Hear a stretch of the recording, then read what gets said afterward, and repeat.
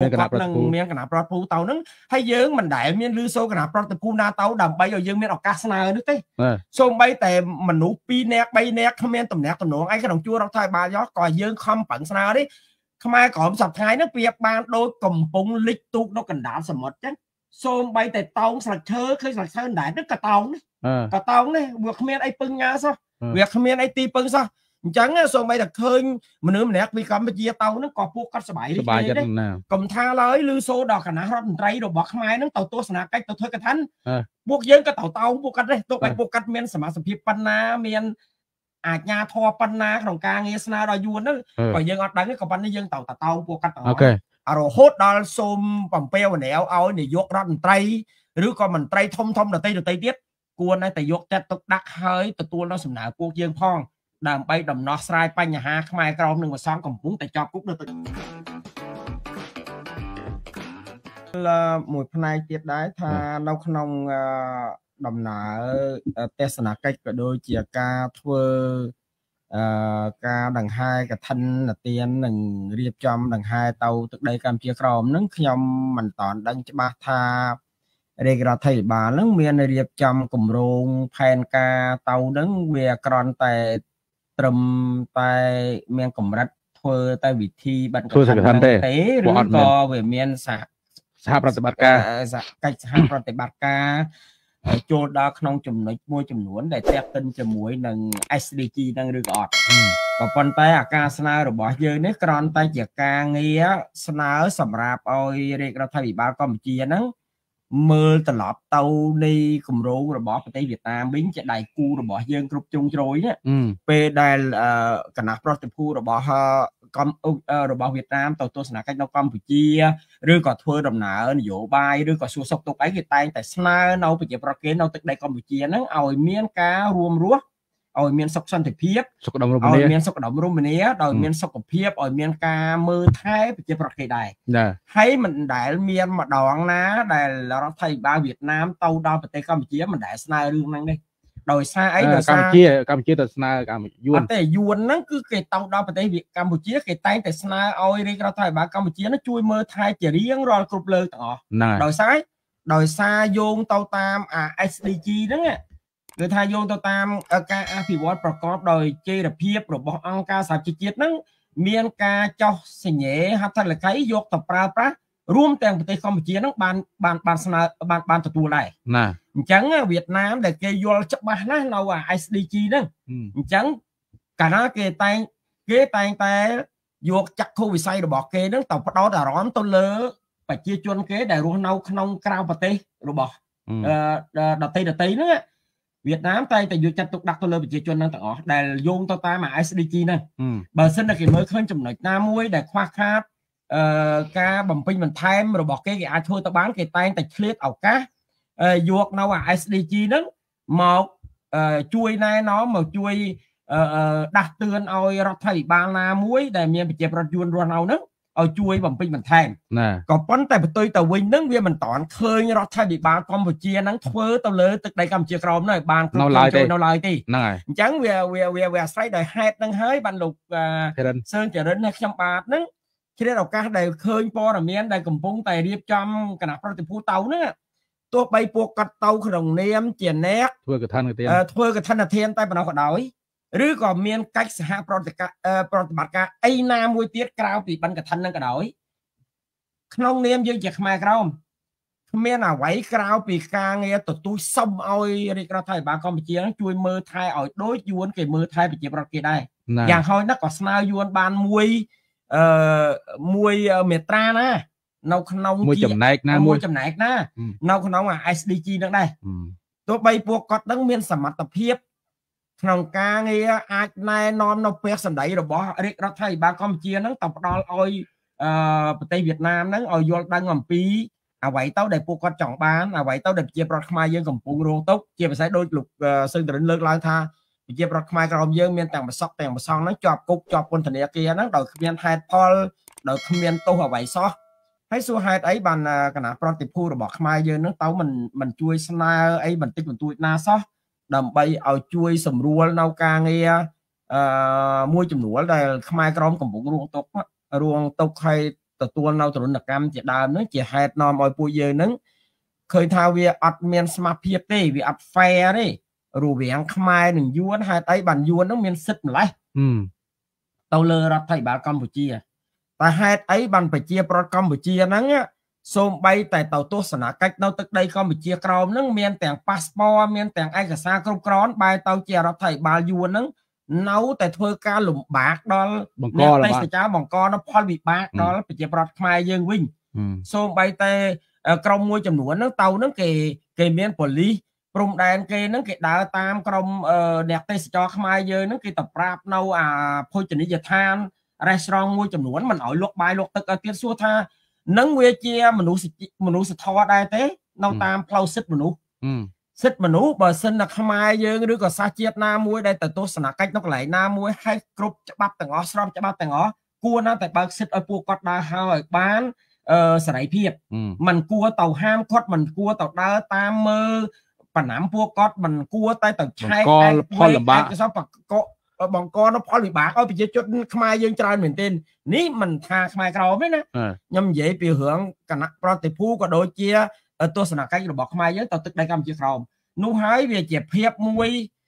យើងឃើញថាយើងទុនខ្សោយជាងគេឬក៏យ៉ាងណាបើយើងនិយាយពីភាពជាដៃគូគួរណាស់តែស្មើភាពគ្នាស្មើភាពគ្នាណាទល់តែមានគេពាក់កណ្ដាលយើងពាក់កណ្ដាលទៅអាចទទួលយកបាននេះហើយពួកយើងលើកមកថ្ងៃនេះយើងក៏មិនបានដឹងថាគណៈប្រតិភូហ្នឹងមានសិទ្ធិប៉ុណ្ណា ក្នុងការងារទៅធ្វើទស្សនកិច្ចហ្នឹងហើយមានសិទ្ធិដែរទេពីរដ្ឋាភិបាល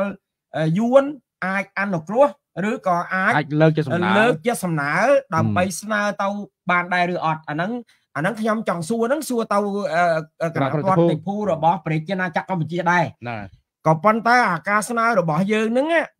យើងក៏យោងទៅតាម សេចក្តីប្រកាសរបស់អង្គការសហប្រជាជាតិមិនមែនចេះតែស្នើបានហើយឬក៏ចេះតែស្នើនោះទេហើយសួរថាស្នើហ្នឹងមានប្រសិទ្ធភាពទេថាមានប្រសិទ្ធភាពដោយសារយោងទៅតាមសេចក្តីប្រកាសរបស់ UN ផងសេចក្តីប្រកាសស្តីអំពី SDG នឹងផង រួមទាំងសហប្រតិបត្តិការតំណាក់តំណងរវាងរវាងដៃគូវៀតណាមនិងខ្មែរផងដែរទៅយើងស្នើឡើងបើសិនតែគ្មានតំណាក់តំណងអស់ទាំងនោះទេយើងមិនអាចស្នើយើងមិនចាំបាច់ទៅស្នើធ្វើអីទេវាអត់ប្រយោជន៍អញ្ចឹងបើយើងមើលឃើញដល់ចំណុចមួយចំនួនដែលដែលអាចនិយាយថាគួរណាស់តែធ្វើរាជរដ្ឋាភិបាលវៀតណាមហ្នឹងគួរតែគោរពសិទ្ធិទាំងអស់ហ្នឹងហើយមានដៃគូមួយទៀតដែលជាដៃគូគ្រប់ជ្រុងជ្រោយនោះពីប្រជាណាចក្រកម្ពុជាទៅ ជាហេតុនាំឲ្យបងប្អូនខ្មែរយើងក៏គាត់ទុកចិត្តដែរគាត់ថាយ៉ាងហោចទៅមានឪពុកម្ដាយរបស់ខ្លួនហ្នឹងយកចិត្តទុកដាក់យកចិត្តទុកដាក់ដែរហើយស្នើសុំអ្វីដែលជាអឺផលវិបាករបស់ខ្មែរក្រមនោះទទួលរួមគ្រោះនៅទឹកដីកម្ពុជាក្រមហ្នឹងអញ្ចឹងឃើញថាខ្ញុំចង់ឲ្យមានប្រសិទ្ធភាពផងដែរ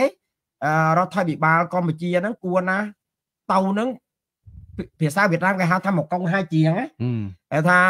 ទៅមកមករឿងគួរណាស់តែធ្វើឲ្យបានរឿងច្រើនខ្លះបាញ់ព្រួយមួយបាញ់បាញ់ចាសាពីកណាហ្នឹងហើយគួរណាស់តែធ្វើឲ្យបានរឿងច្រើនជាងហ្នឹងបន្តិចណាដើម្បីឲ្យវាមានថាការចំណាយពេលវេលាទៅដល់ទឹកដីកម្ពុជាក្រោមហើយអ្នកខ្លះខ្ញុំជឿជាក់ថាគណៈរដ្ឋមន្ត្រីមួយចំនួនហ្នឹងគឺថាខ្ញុំគិតថាកាត់បណ្ដាលទៅដល់ទឹកដីកម្ពុជាក្រោមហ្នឹងផងបើសិនមានដល់22រូបទៅចូលរួមហើយគួរណាស់តែបងប្អូនយើងមានឱកាសធ្វើអ្វីខ្លះ ដើម្បីជាផលប្រយោជន៍ខ្មែររួមកុំឲ្យក្រាន់តែថាទៅធ្វើបិណ្ឌកឋិននឹងមួយហើយក៏យើងមកតែវិញដល់ដល់ពេលយើងមានភាពអីមួយយើងសៅម៉ងយើងអាចជាប់នៅក្នុងអារម្មណ៍របស់យើងដែលយើងបានទៅដល់ទីនោះហើយមិនបានបំពេញកាតព្វកិច្ចរបស់ខ្លួនជាមន្ត្រីរបស់ខ្មែរហ្នឹងហើយមិនបានជួយប្រជាប្រដ្ឋខ្មែរក្រមហ្នឹងឲ្យបានអ្វីមួយដែលជាការងារតម្រូវការរបស់ពួកគាត់សពថ្ងៃដូចជាប្រសងជាដើមកំពុងតែជាប់គុក ហើយគ្មាននរណាជួយអន្តរាគមហើយខ្មែរយើងទៅដល់ហើយបែរទៅជាគ្មានសំណើដល់រដ្ឋាភិបាលវៀតណាមសោះណាសូម្បីចំពោះវៀតណាមវិញសូម្បីតែប្រជាជនគេមានកន្លែងរស់នៅហើយគេមកខុសច្បាប់មកខុសច្បាប់100%ហើយបែរទៅជាគេស្នើឲ្យយើងនោះធ្វើច្បាប់ឲ្យទៅជាស្រោះច្បាប់ទៅវិញទៀតហ្នឹងហ្នឹងហើយមិនត្រឹមតែប៉ុណ្ណឹងទៀតសោតគេចង់ឲ្យខ្មែរខ្មែរយើងទទួលស្គាល់ជនជាតិគេហ្នឹងឲ្យបានទីតាំងមានដីទឹកនៅទៀតអា បន្ទុយទៅវិញនៅទឹកដីកម្ពុជាក្រមយើងមានដីរបស់យើងគេទៅប្លន់យកទៀតនោះវាចំណុចមួយវាមិនគួរឲ្យយើងនឹងស្មារភាពទេហើយមិនបើសិនតែខ្មែរយើងធ្វើអត់បានมัน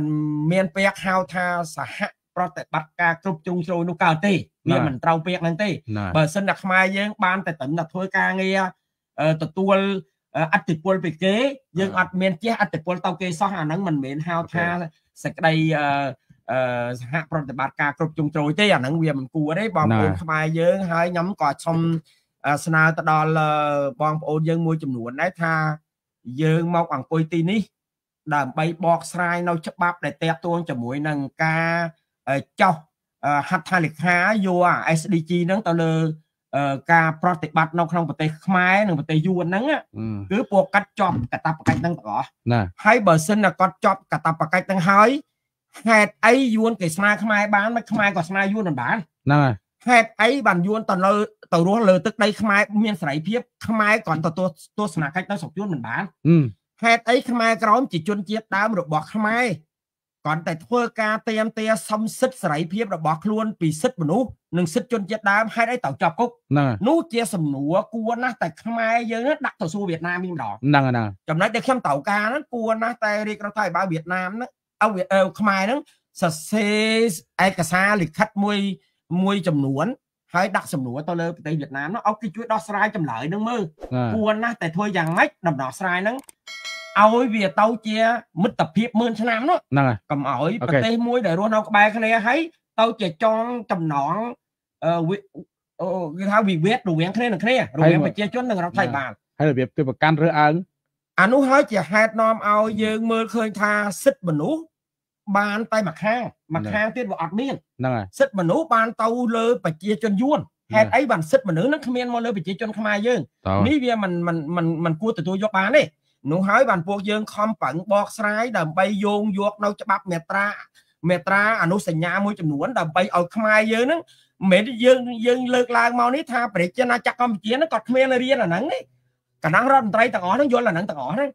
ក៏ប៉ុន្តែខ្ញុំសួរថាគាត់គាត់ធ្វើឬក៏អត់ចង់ធ្វើ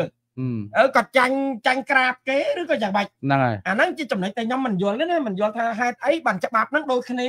យួនគេធ្វើបានហើយមកខ្មែរយើងធ្វើមិនបានច្បាប់ហ្នឹងមានដូចគ្នាហេតុអីជនជាតិយួនទទួលបានជនជាតិខ្មែរមិនទទួលមិនបានហ្នឹងជាចំណុចដែលខ្ញុំសង្ស័យខ្លាំងណាស់នៅក្នុង រដ្ឋាភិបាលរដ្ឋាភិបាលខ្មែរហ្នឹងតើមានអ្វីដែលលាក់បាំងជាមួយប្រជាប្រដ្ឋខ្មែរឬក៏លាក់បាំងជាមួយប្រជាប្រដ្ឋខ្មែរក្រមហ្នឹងសូមអោយបងប្អូនជាគណៈរដ្ឋមន្ត្រីយើងជួយបកស្រាយឲ្យពួកយើងយល់ផងបើសិនអាចធ្វើទៅរួចគួរណាស់តែធ្វើកិច្ចការងារហ្នឹងឲ្យរឿយរឿយហើយសំណើហ្នឹងគួរតែមានការស្នើទៅវិញទៅមកទៅប្រសើរជាងដែលយើងថាអឺទៅធ្វើអីទៀមទៀមទឹកដីកម្ពុជាក្រម ដាក់អង្ឈូសឲ្យចំនួនអីចឹងវាមិនគួរទេសម័យកាលនេះសូមឲ្យគណៈរដ្ឋមន្ត្រីកម្ពុជាហ្នឹងគួរណាស់ពិចារណាឡើងវិញបើសិនតែគេមានការលំអៀងមកយើងយើងក៏គួរតែផ្ដេកព្រួលទៅគេខ្លះដែរកុំឲ្យគេហ្នឹងចេះតែយកខ្នងមកផ្អែកលើយើងរហូតហើយយើងគ្មានអ្វីទៅផ្អែកពឹងលើគេសោះអាហ្នឹងវាមិនគួរទេអត់ស្មើភាពវាមិនស្មើភាពគ្នាទេហ្នឹងជាចំណុចការទទូចសុំរបស់ពួកយើងទេយើង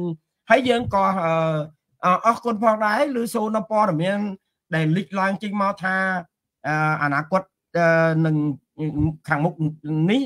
ពួកគាត់នឹងមានគណៈប្រតពូទៅហ្នឹងហើយយើងមិនដែលមានលឺសូគណៈប្រតពូណាទៅដើម្បីឲ្យយើងមានឱកាសស្នើនេះទេ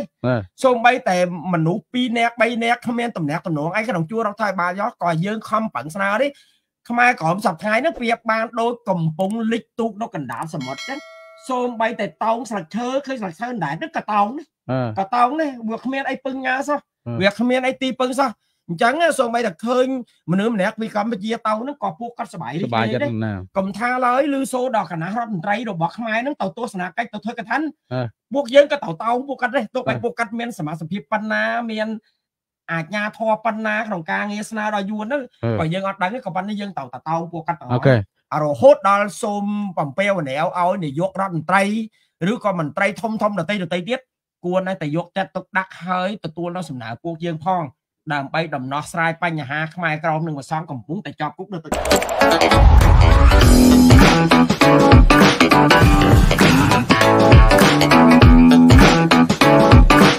ដោ